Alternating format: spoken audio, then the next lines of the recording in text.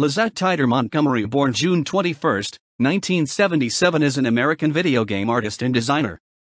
She has worked at Backbone Entertainment, EA Games, Ubisoft, and currently works for Double Fine Productions. Titre is also involved in promoting diversity in video games and computer programming. Biography Titre was born on June 21, 1977. She had been both a gamer and an artist from a young age.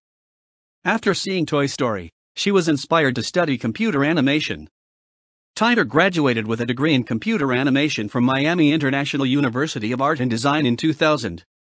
Titre currently lives in Oakland and is married to Marcus Montgomery. Career Titre's first animation job was working in 2001 as a character modeler for the game, Freekstyle.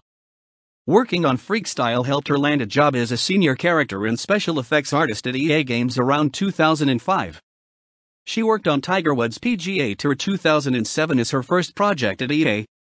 Other games she helped develop were The Simpsons game, The Godfather 2, and Dante's Inferno. In 2011, she left EA Games and went on to become the lead artist at Backbone Entertainment. At Backbone, she worked on Zombie Apocalypse Never Die Alone and Midway Arcade Origins. Titre returned to EA Games in 2013, where she worked on Dance Central 3 and The Sims 4. Around 2015, Titre started working as the manager of the art and computer animation department for Ubisoft. Titre was invited to the 2016 White House LGBTQ Tech and Innovation Briefing. Starting in 2017, Titre became the art manager at Double Fine Productions, where she has worked on Psychonauts 2. Titre is a member of Blacks in Gaming, a nonprofit group that provides networking and collaboration opportunities for African Americans working in the gaming industry. She is also involved in Black Girls Code and Girls Who Code.